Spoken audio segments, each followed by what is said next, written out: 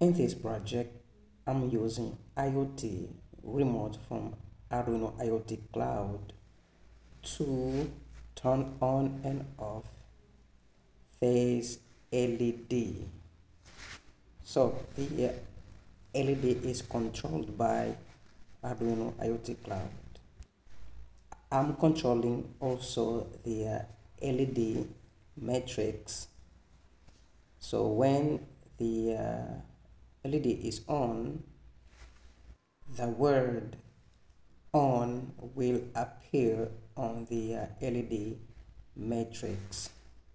Now when the widget button is off, the word off will appear on the uh, LED matrix.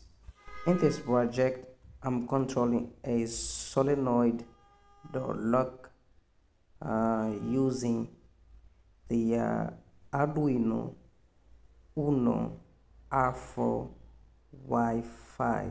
We are switch on and off the solenoid door lock of the uh, internet uh, using Arduino IoT Cloud. And uh, I'm using the IoT remote app. So we have a relay module between the board and the, the solenoid uh, door lock.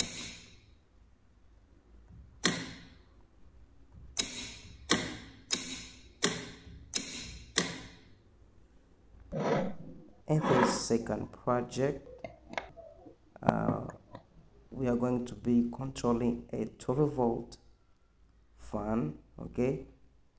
So and um, it's working. So I'm controlling with uh, Arduino R4 Wi-Fi over the internet okay? Using the uh, IoT remote app from Arduino IoT Cloud.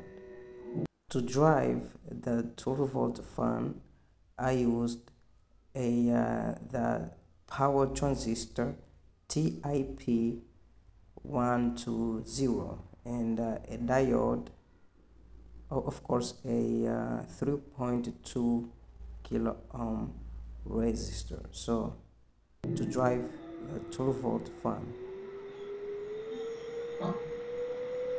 So I'm using Arduino R4 Wi-Fi DHT11 sensor a LED screen to monitor um, humidity and uh, temperature.